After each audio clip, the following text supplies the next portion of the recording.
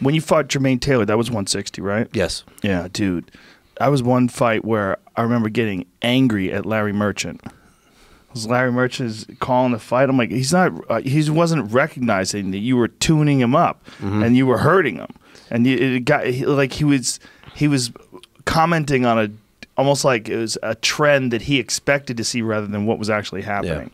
There was a lot of things about that fight. I love them guys because, believe it or not, in my opinion, that was a great fight.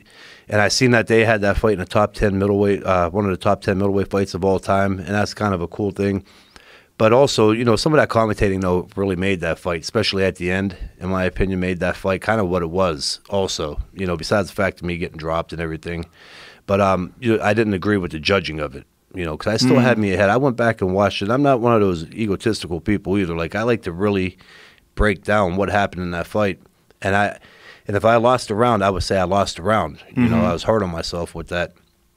I watched that fight now probably ten times, and I don't see where they had Jermaine winning. You know, Yeah.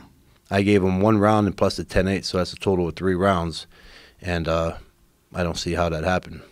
Well, you know, I mean, we we've had this conversation a hundred times in this podcast. But judging in boxing and judging in MMA, judging is just terrible. Yeah. it's just terrible. It's what it's sad. It doesn't make any sense. There's so many experts out there. There's so many really reliable people that you can call on that would do a great job of of of figuring out what's going on in a fight. And for whatever reason, they don't get those jobs. I think they got to start doing something soon in boxing with that. Yeah, They have to figure something out with the judging. you see the Um, Charlo fight. Yes. Yeah. And I, there's a handful of people I had the argument with that actually thought Charlo lost. Um, I didn't think that he looked as good as he could have in that fight, Yeah, but I thought he won the fight, you know, um, 116 and 112. Uh, but I don't know what system they could try to break down for that eh, or try to get to actually start making some of them fights fair. But boxing's doing fantastic the past two years. I mean, the numbers are crazy. You've seen what DAZN um, did with Canelo and yeah, so it's it's there. Er, the attention's at the sport and the popularity of it's coming back. But what could eventually hurt it again is things like the, the judging of the fights and the outcomes. Well, there's certain ones where you you want to like you want a criminal investigation, like uh, Tim Bradley, Manny Pacquiao. That was one where after that was up, I, I was like, I was looking at the TV, I was looking to the side, Yeah. I was looking away, I was like, what the fuck did I just see? What just happened here? That fight right there, I actually had to walk away with my head down.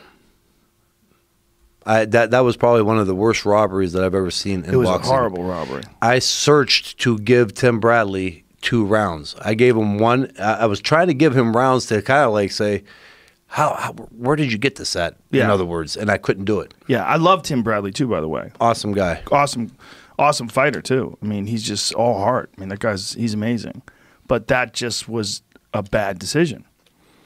And you know, I think there was a there was a lady that was responsible for two really bad decisions. There was- Byrd. yeah. Adalaide Byrd. Was it her? or Was it? There was another one too. There was an Adalaide Byrd. She does MMA too.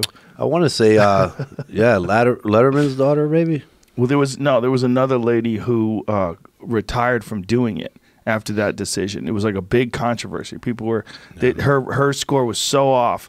People were thinking she got paid off.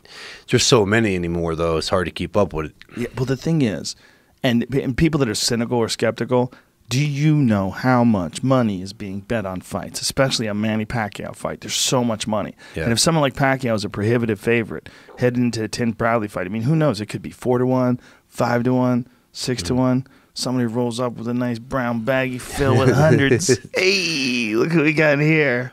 Here's thirty thousand dollars. You I never have to report. I think there's, yeah, there, there's more behind why that happens too. You know Has what to I mean? be. That's always been a, the idea that there's no bribery going on anymore is crazy. I don't want to say it, but I I'm think I have. Yeah, I think I have an idea. You know, I think it comes down to who's putting the show on and who's who's in the pocket. Well. Teddy Atlas was explaining it too when he was on the podcast. One of the things that he was saying was that they take these people out to dinner.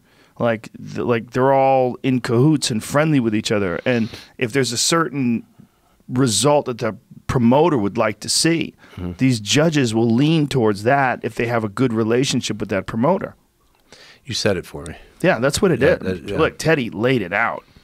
And um, I don't know. Yeah, it's it's bad because again, boxing's really coming back. It is, and the fights you got three or four weight classes right now. That's so interesting. But the bad part about it is you don't get interested in it or you don't get as excited anymore because you're afraid of the outcome of the fight. Yeah. You know.